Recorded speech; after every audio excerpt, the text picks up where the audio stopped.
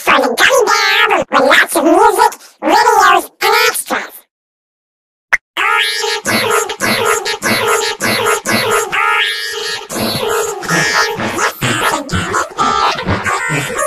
Yeah.